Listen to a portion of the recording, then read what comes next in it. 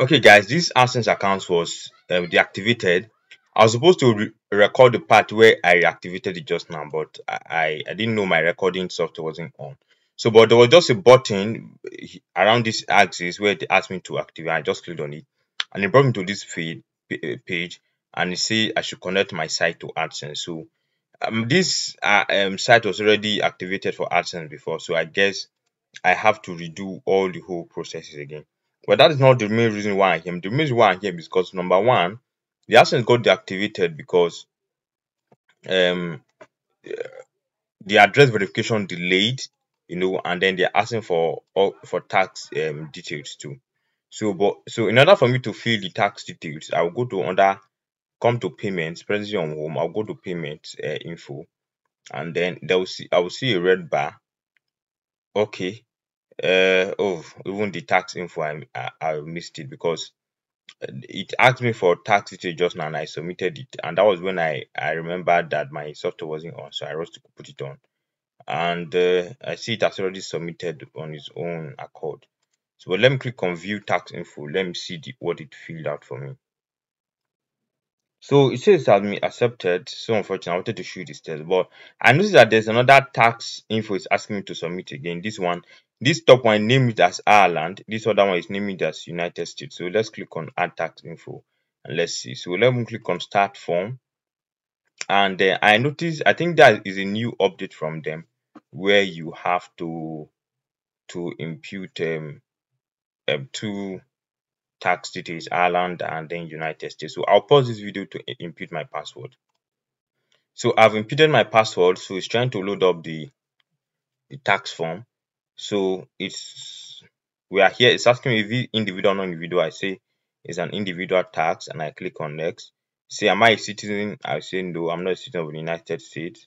Then next it says uh, it said this form is commonly by non-US individuals who would also and and would also be used to claim tax treaty. I'm not interested in any tax treaty. So this form is mostly used by non-US business or individual that any income related to its US trade or business and files US um, tax return. So I'll go with the first one. Then I'll click on Start W8BEN form. So it took some time to load up, but yeah, we are finally here. It has already filled the name automatically by itself for me. So it said, am I doing business as name or disregarded entity? And it's optional, so leave it blank. So country of citizenship, I will just select Nigeria. And then my tax application number, they are both optional and I don't even have, so I click on next. So it will automatically impute my address for me because I already filled my address before. So I'll see my mailing address same as my um, permanent residence. So I'll click on next.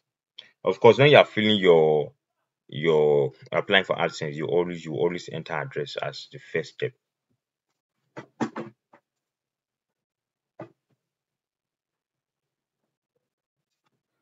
So it say, am I uh, claiming a reduced rate of tax withholding? I say no, and I'll click on next.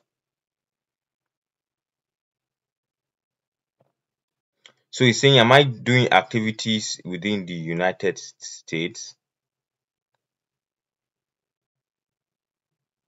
I say no and I'll click next. I say I certify and I'll click next.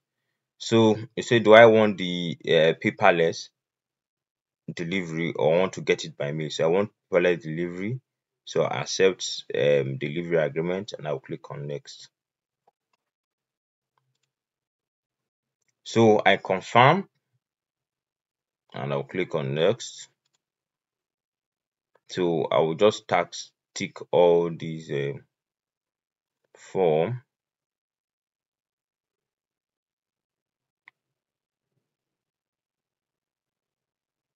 I acknowledge that I'm beneficial owner and I'll click on submit.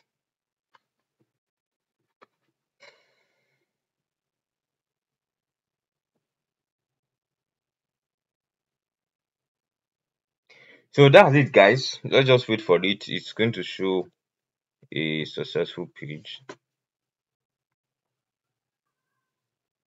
So that's it guys, it has been approved and if I go to my Gmail, I'll also get a, a message that uh, I just submitted my tax. So that's it guys, your payment information just changed. That's it guys.